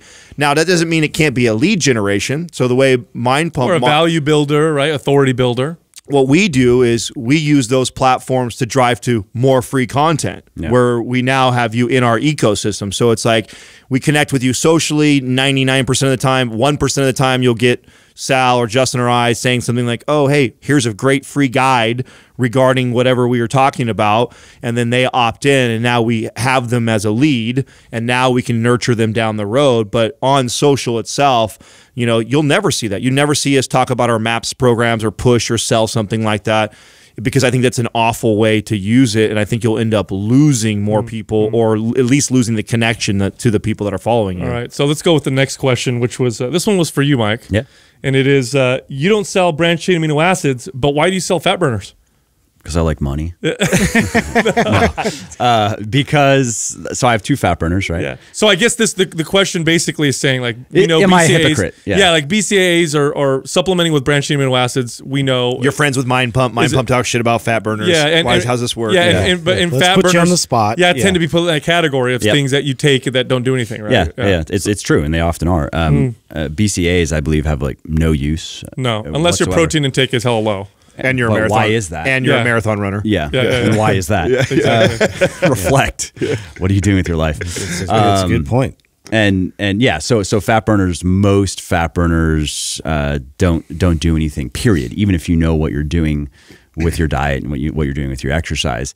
However, uh, take so we have two different fat burners, and one of them is called Phoenix, and really the the driving ingredients are synephrine, and then there are a couple other compounds that are found in the in the in the same fruit where synephrine comes from that makes it more effective and then forskolin and, and then EGCG. Mm-hmm. Uh, so from green tea extract. Those are the, those are the main ingredients of what what make Phoenix work.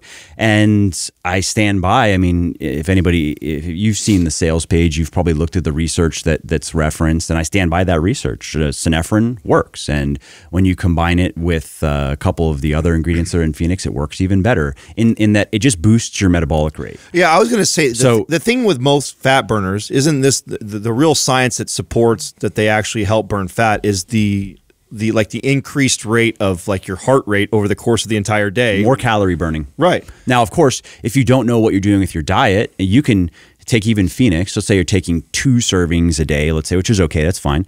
Um, and then you that that that's a cookie's worth of calories. You know what I mean? It's like two or three hundred calories a day max. half a soda. Uh, yeah, yeah. So like so that. you have to know, and and even if again, if you look at the sales page, which I'm actually updating all the sales pages, which is nice, and it's been a while, so I'm like, you know, tweaking a lot of the copy. But I really try to make that clear before someone even buys the product mm. in, in, that this is supplementation is the least important thing as far yeah. as fat burning goes and and then so the other fat burner is forge and, and the driving molecule there is yohimbine again yohim, yohimbine uh, has good evidence that i mean it works it does and so that's why basically because i feel that um, the i'm i'm justified in in terms of of the research behind these yeah. these ingredients. Now, if they were to be, and I explain people how to use them. If you were, I'm now, not saying just take some pills, you'll be good. Now, if you were to compare the fat burner to the pre workout, would they wouldn't they probably rival each other on the same the same studies and the effect as far as what it would do as far as speeding the metabolism up to burn more fat? No, because um, in the case of my pre workout, it's just caffeine, and as far as caffeine's metabolism boosting effects, I mean, research shows that once you become desensitized to it, you're mostly losing that actually.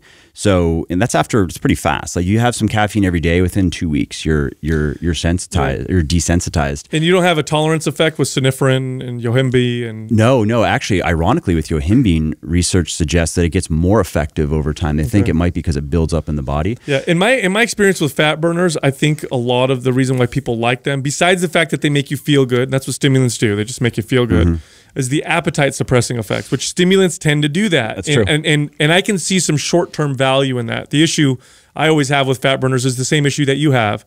If you're not doing any behavior modifications, um, you're not only wasting your time, but you may be doing yourself harm because you're placing your time and effort and value in something that is and just wasting money and wasting money yeah. absolutely and then setting yourself up for disappointment yeah because you were thinking that the, these pills or these powders were going to do yeah. a lot more than they actually yeah. are going to do now some of the most effective over the counter fat burners that no longer illegal but were around for a little while that had studies that support them was the classic ECA yeah, stack ephedrine. You can still get it you just have to how do you get it uh, with the decongestion. So oh, you got to get you get you the have to, you have to give them your license because pseudoephedrine. Yeah, exactly. Yeah, yeah, yeah. And and those actually those studies showed that those worked as well. But here's what I noticed with people when they would take those is they take them, they get the appetite suppressing effects. They were hyper, which probably made them want to work out more. So they're eating less, or even just made more. them move around more. That that means more calories. Right, right. right. Uh, but then they would have a rebound when they come off because then when they, they would come off they would take stop taking the supplements and they'd feel dead tired. They'd have that period of time where they mm. felt like they had no energy and they'd have that kind of rebound uh, type of effect. Do you see anything like that with synephrine, yohimbi? For, now, forskolin's an interesting one. Forskolin has got some muscle building and testosterone boosting effects. We talked about this last night. Yeah. Through increasing circulating uh, cAMP. Yeah. Right. That's uh, uh, and that gets the body to produce more testosterone. Actually, did some did some research. Forskolin pretty consistently raises testosterone in men. It's actually one of the better testosterone boosters, but you don't talk about it as a testosterone booster. I mention it on the sales page because there is evidence for it, but I'm not really using it as a, a reason to buy it because mm -hmm. the effect size is too small to matter, uh, mm -hmm. especially when people, it's one of the reasons, uh, so take BCAAs, something I don't sell. I get asked, we get emailed multiple times every week from people asking why we don't sell BCAAs, even from people saying, look, I know BCAAs are useless, but they make my water tasty. Can you please? I'd rather give you. I'm, I'm, I'm going to give someone my money for BCAAs. I'd prefer it to be you. And I'm like, yeah. I mean, that would literally be the sales pitch. That'd be like, this Tasty is water. I, It's It's yeah, like, it's like tasty water. Crystal Light, right? Why Yeah, don't you yeah. just go that direction? Or yeah, put some put some fruit in your water. Um, and and testosterone booster is another product that we don't sell that there's a lot of money in, Mm-hmm. and uh, the reason being is while forskolin would be one, D-aspartic acid would be another. There are a couple things that Ashwagandha can do that too. Can help. yeah, we there's the, we got uh, ashwagandha is in in my multivitamin, and again that's mentioned on the sales page because um, when I'm mentioning benefits, that just here's here's there, there's good research that shows this thing can do these things, Right. But I But you're not marketing it that way. Nope, and I don't I don't really call any attention to it because again, the it's not going to make it's not going to it's not going to either in some cases it's not going to increase testosterone enough to to matter at all, or it's not going to increase it enough for long enough to Yeah. matter. So or, like, or the studies that show that it raises testosterone were done in men who are, uh, you know, hypogonadal. They had low testosterone. Sure, which and that, is that even, yeah, that would just be misrepresenting research. But even in the case of like D-aspartic acid, you don't have to necessarily misrepresent research. You No. can, uh, and and what what seems to be the the the weight of the evidence or the consensus right now is that in it, it will It works for a week or two. yeah, and for, for a short period of time. Yeah. And I've experienced that myself and in, in the past when I've Oh, taken yeah. it, where I've noticed it only what I noticed, I remember noticing is more sex drive and a little bit better sleep. And Yeah. it'd be for like two weeks and then nothing. They actually prescribed it. I believe they prescribed it, or the studies were done in Italy on D-aspartic acid and for its effects on increasing seminal volume um, and more sperm. So I- for fertility. That makes me think of a product Hey. called Ejaculoid. Yeah, that's a real.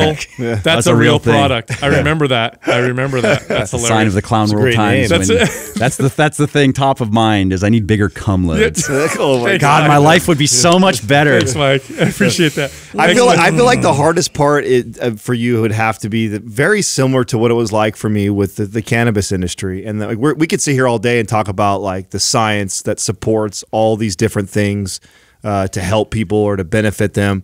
But it was just like when I was in the cannabis clubs, and I would be like, you know, and I was learning all about the benefits of the plant, and you know how what what what percentage of people that this could really help and and do do good for them, right, or really change their life.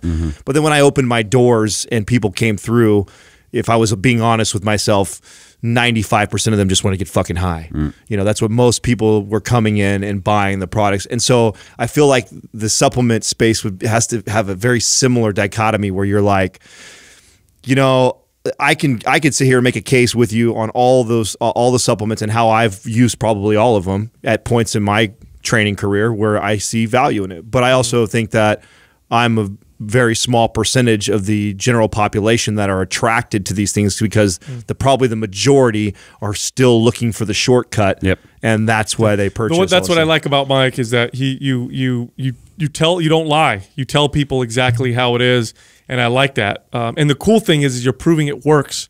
That's what I really like. The like, business model. Yes, Yeah. like you can you can actually build a business and not lie in the supplement space, which is crazy. That's like mind, yeah, like Yeah. what? I, that's impossible. A shocker. Yeah. you know? No, yeah. And it, now there are more companies that are taking a a similar approach Yes. that are saying a lot of the same words at least. Yep. Um, you but- because you're you're proving the model. I, I would think that that's something has something to do with it. I mean, Legion's big enough now where a lot of people have heard about it and it's it's out there. You know what I mean? Um, and so that's cool. That was one of the reasons why actually when I started it, I was.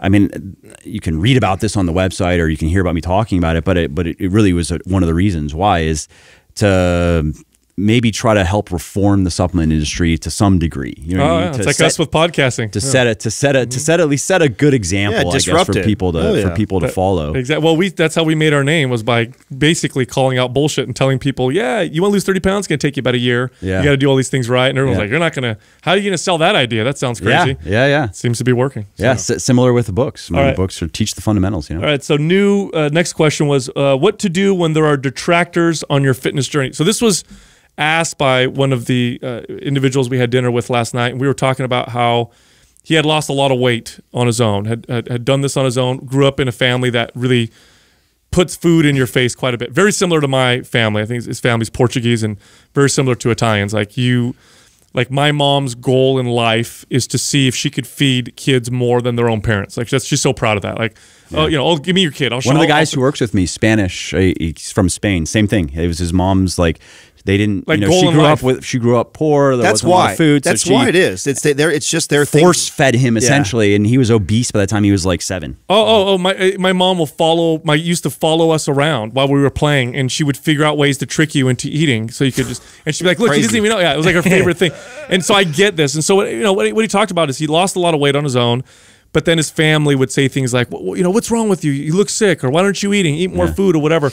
And so his question is like, how do you deal with those kinds of people? So I guess I'll start because I'm I was in a, a similar situation until this day. I weigh right now I weigh 200 pounds, right? Six foot, 200 pounds. Nobody in their right mind would consider me sickly. Yeah. Well, any medical. Uh, I was I'd be maybe obese. maybe yeah. sick. yeah. Yeah. Yeah, yeah, yeah, yeah, yeah. yeah. But BMI like, Sick, sucks. bro. but yeah, no, but like clockwork, I'll go to a family function. Like clockwork, one of my family members, usually my grandma, will come up to me and be like, Salvatore, what's the matter with you? Uh, what do you mean? What are you talking about? You don't look so good. You need to eat some more food. I'm like, God, I started getting like, what's going on? Am I am I really losing weight? Do I look what's happening? skinny? Yeah. So so I get Started this. to look like a swimmer. Yeah. The, the insecurities start coming Yeah. out. Oh, I it's remember got that terrible. the first time I got lean, uh, Yeah. and uh, I was I was wearing a long sleeve shirt. Someone was like, "You have like a really really good like swimmer's body." You're like, time to get bigger. Yeah. Thanks. Thanks. I wasn't going for that. yeah. So what I was telling him to do is to, you know, the, the thing is, whenever you change, whenever you fundamentally change a part of kind of who you are, it challenges the people around you. So you see this happen quite a bit with uh, with couples. So if you look at the statistics of couples that are that get meet and and get married and are both obese, and then one of them lose a lot of weight and the other one doesn't, the Almost always divorced. the divorce rate is like astronomical. It's something like three quarters of them. So almost all of them will get a divorce unless both of them go through together. And mainly it's the challenge. And in that case, it would challenge their ego. Is this person more attractive now? Who are they? I don't know them. But even with your family and friends. So let's say you and your friends connect over alcohol and you guys like to go out and drink and party and whatever. And then all of a sudden you're like, you know what? I want to get my shit together. I want to build a business. I want to, you know, whatever. And so you stop doing that kind of stuff. You go out with your friends, and be like, nah, I'm cool, man. I don't want to drink. I got to wake up early tomorrow. They don't know how to take it because to them, who is this person? And not only that, but who am I? Who am I Yeah. now? Take it personally. Take it personally. It's a so when you're at when you're raised in a family that's constantly celebrating food and constantly eating, and it's this wonderful, great thing, and now here you are saying, "No, I'm okay. I don't want to eat that," and no, I'm, I'm, I'm you know, I'm, I'm cool if I if I just eat the salad, whatever. To them, it's like if well, either something's wrong with you or something's wrong with me, mm-hmm. and so that's the question now. So by you, by this person now challenging them by saying, "No, I'm not going to eat that way anymore," it's actually causing them to reflect on themselves. Yeah, you're a big mirror walking around. Right. They're And- like, you know, you It's did upsetting it. 'em. Yeah, you did it, and they haven't yet, and they have to face that. And one of the easiest ways to for them is to not face it and deflect it back on you that Right. you have the problem. Right, and I remembered uh, I remember this one incident. I was with my cousins. We were at a big family function, and my cousin married this this guy into the family. Great guy, and we're all hanging out, and everybody was drinking beer. And he's like, "Have a beer, man." And I'm like, "No, I'm cool. I don't, you know, I'm, I'm all right. I'll just, you know, I don't want a beer or whatever." He's like, "Come on." Have, and so all night he kept saying that to me. "Come on, have a beer, man. You never have fun. You all you ever do is think about working out, man. You need to loosen up." Whatever. And he kept hammering on me. And finally, I got angry and I, I, I grabbed his belly and I shook it real hard in front of everybody and made a joke about him. And it was a really mean thing to do.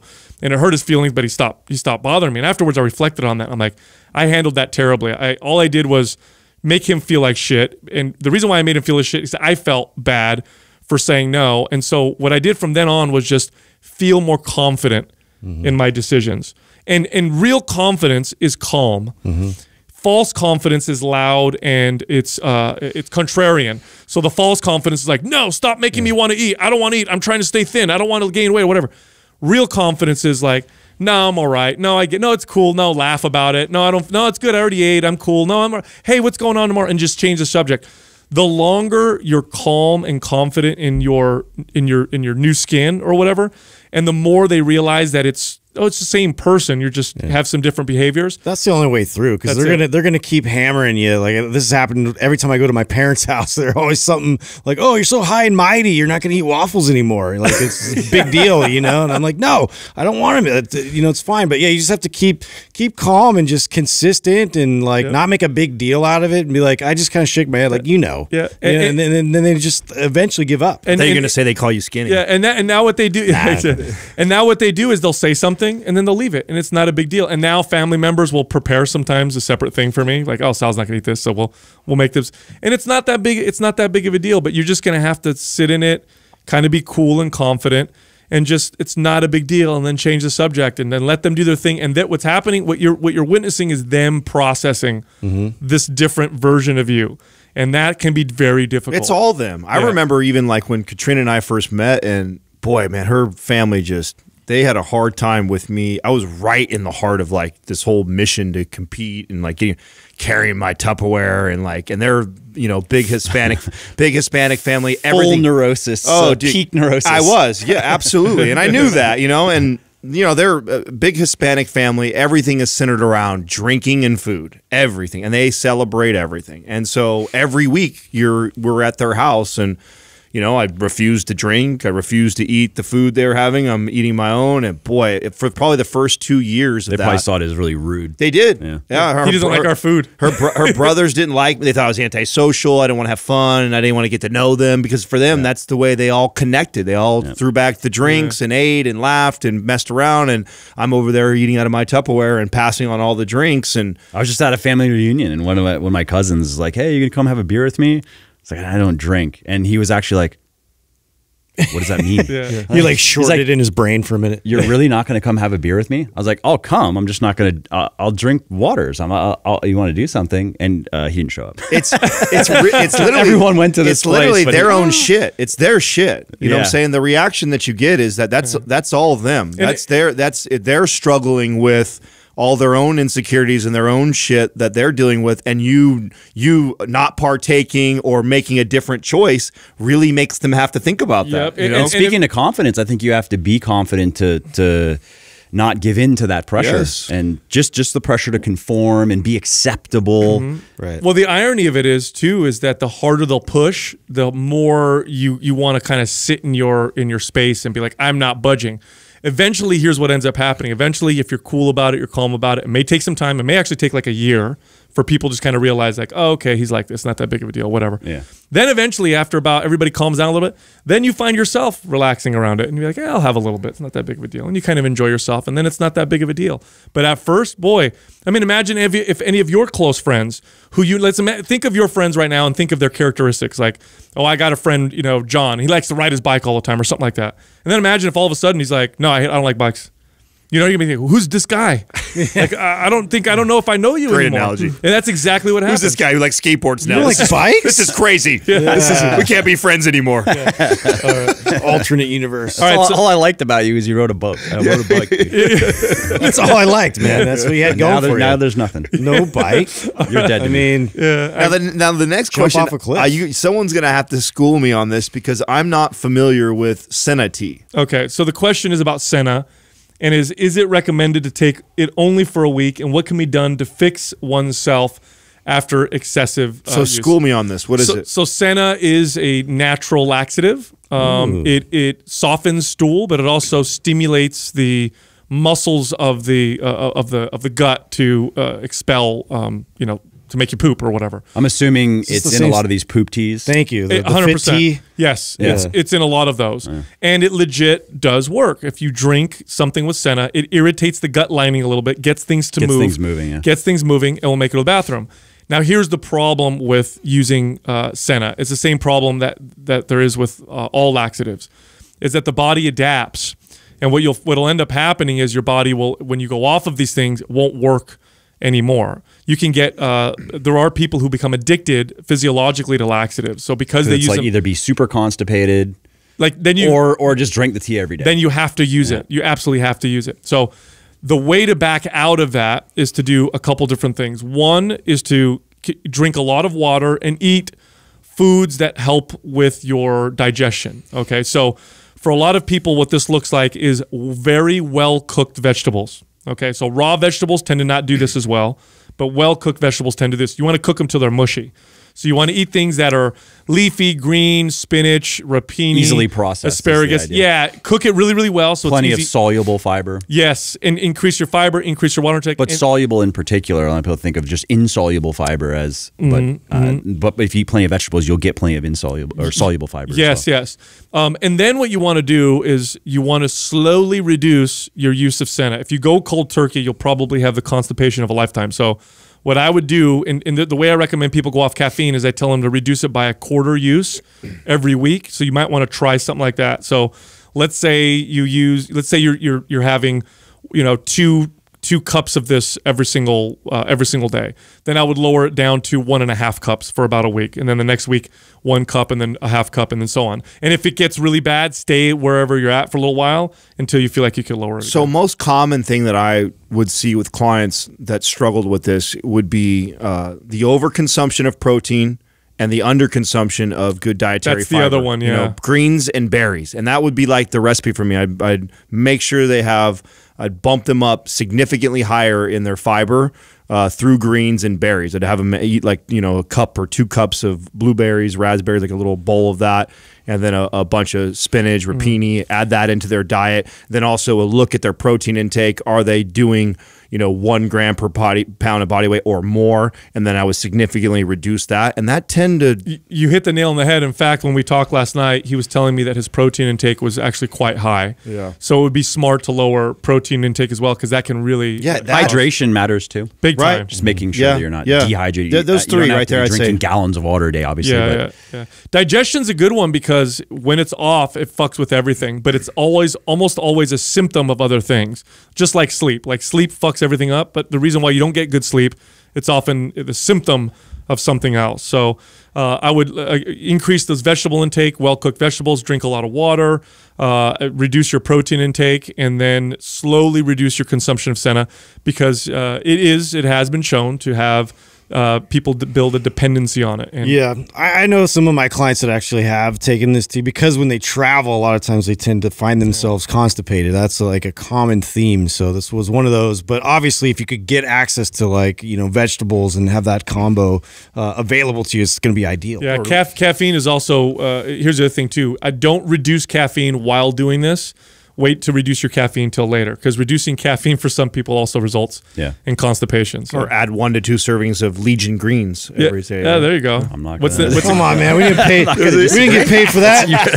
That's bullshit. This guy's a genius. you know, you know, you know, I was waiting for the commercial plug for himself right there. That was, Yeah, a, that was like a layup right there. Like, yeah. Well, you could add some Legion It's- greens to your diet every day. it's funny because it. we have Yeah. zero affiliation with uh, with Legion. We just like you guys so much. I keep trying to to get in. Yeah. but Yeah, yeah. We're expensive. It's hard to get over this wall, dude. Yeah, we're all prudes. We're all cock yeah, couple, Such a couple, bigot. couple, couple prudes. Yeah, Such all a right. bigot. All right, next one. All right, so here's a here's the last question. It was transitioning from active work to more sedentary. So in this particular case, she's a dog walker. That's her job.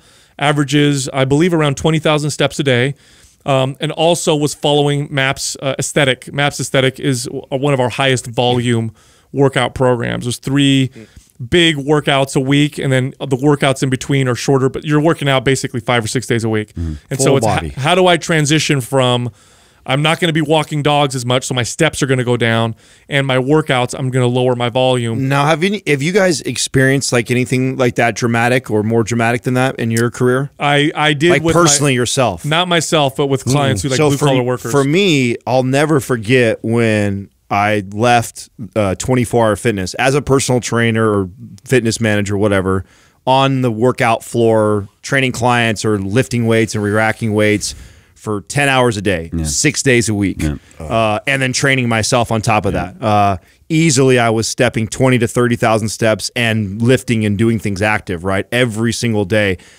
to completely stopping that and then sitting at a marijuana dispensary with no nobody coming through the doors for the first 6 months to a year. Holy shit was that a like a total swing. I went from the guy who could uh, struggled to get enough calories in to maintain his size to really quickly uh, it didn't take much for me to overconsume Yep.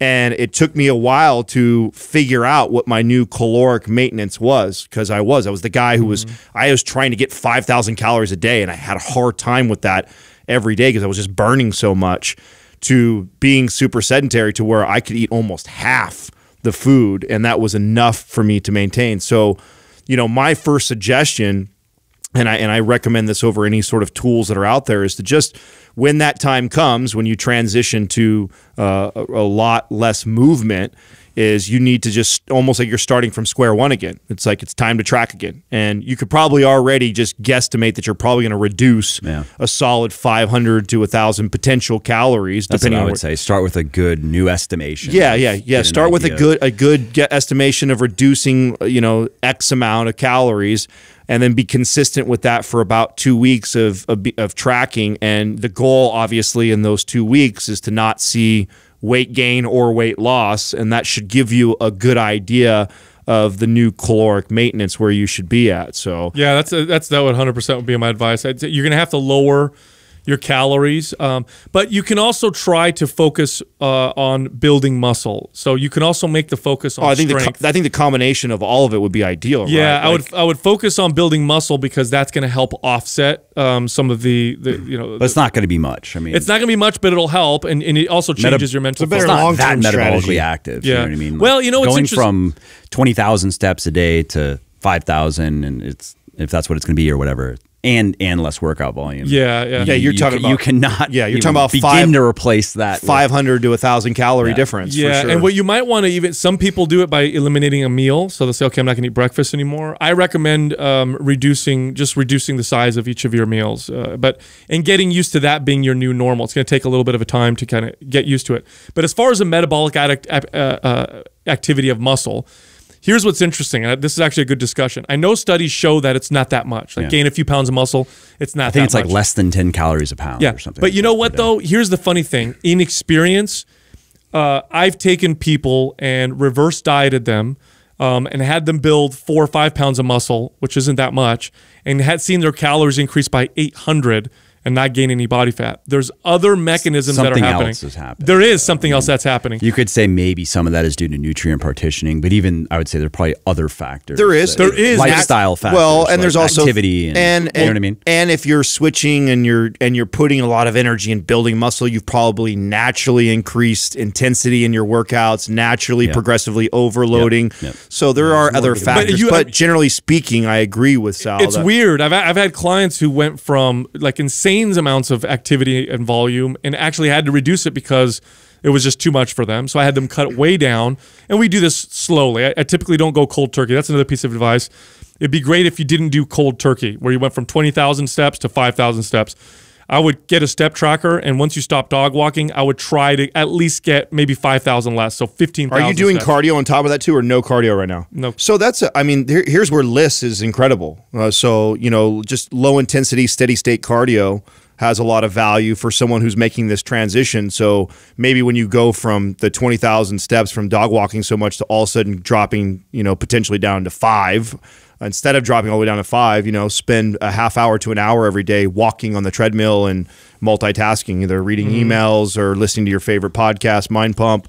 Um, or Or go outside and walk if you can. It'll be better. well, yeah, no, that'd Just be no dogs. Yeah, yeah, that would. You're right. That would be better. So, I mean, I I would see a lot of value in doing that. It doesn't need to be in, high, intense at all. It's just walking. You know, just replace it inside the gym. But or I, but I tell you, but I tell you what, there is something interesting that happens sometimes. Like I've, I've had clients who, you know, over the course of six months, lower their activity significantly because they had to because they were just doing way too much. Focus on resistance training, slowly reverse diet them, and see their metabolisms completely change. And on paper, it doesn't make sense. And I've seen that happen many times. You see that especially with competitors. If Changing macronutrients. Or There's- like going from a low protein to a high protein. Um, you also what happens what happens we all know what happens too when you start to feel better about your body you build muscle you walk around with your chest puffed out more you're you're active you're more lively so there's a lot of factors But okay, so I'll bring up a study that was interesting. Did you see the study that was done on the? I can't remember the name of the tribe. They were they're a, a modern hunter gatherer tribe, but through some pretty sophisticated testing, they were able to, to test their their how many calories they were burning every single day.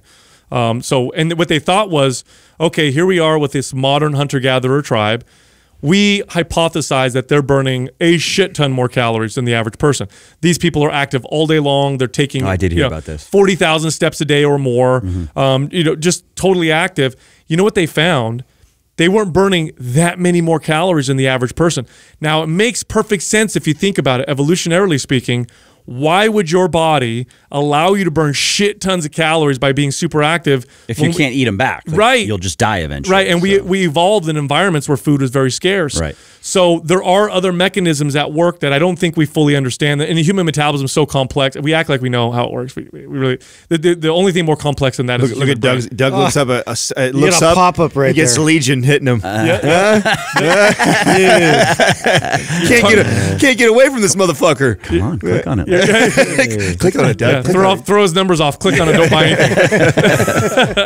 yeah. So that's the study right there. So- Following us. there is something interesting that has happened. So this should give you some hope because a study like this shows that although you're you're really active right now, if you reverse out of it and kind of do it the right way, you'll probably still have to eat less, but it may not be Is it the Hansa tribe? What is that uh, tribe? Hadza, Doug? Hadza. Hadza. Yeah, yeah, yeah. That's Yeah, right. yeah, Hadza tribe. It may not be as dramatic as you think, where you might think like, oh my God, I'm gonna be eating 500 calories a day. No, I don't think it'll work that way if you do it the right way. So, I agree. yeah. Anyway, good time, Mike. Yeah. Always Yeah. a blast having you around, man. thanks. Looking having forward to back. tonight. Tonight will be fun. Yeah, man. I'm always like, what's he gonna say? Are we gonna get in trouble? I'm a master of walking. Let, let your hair down a little bit tonight, yeah, dude. yeah, yeah, Yeah. Good time.